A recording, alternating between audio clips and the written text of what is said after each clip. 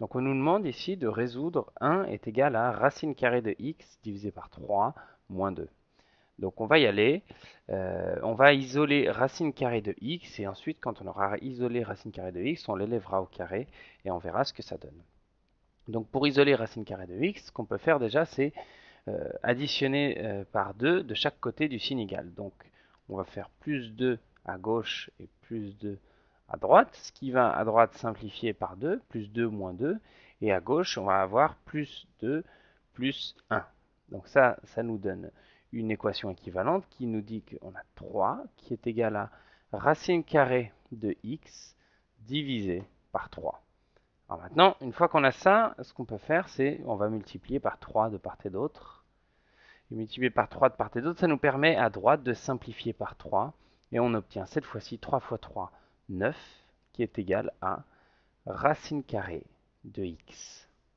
Alors on commence à arriver près du but.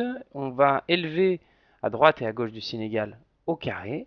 On va prendre 9 au carré qui est égal à racine carrée de x au carré. Et alors 9 au carré, c'est 9 fois 9, ça vaut 81. Et ça, c'est égal à x. C'est égal à x. Et euh, ce qu'on fait maintenant, c'est qu'on va vérifier que x, qui est égal à 81, est bien solution euh, de euh, notre équation. Alors ici c'est quand même plutôt évident, mais on va quand même le, faire.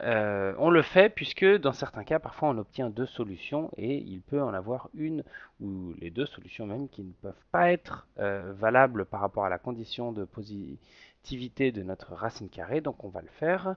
On va prendre 81, on va prendre la racine carrée de 81. Racine carrée de 81, c'est égal à 9. D'accord?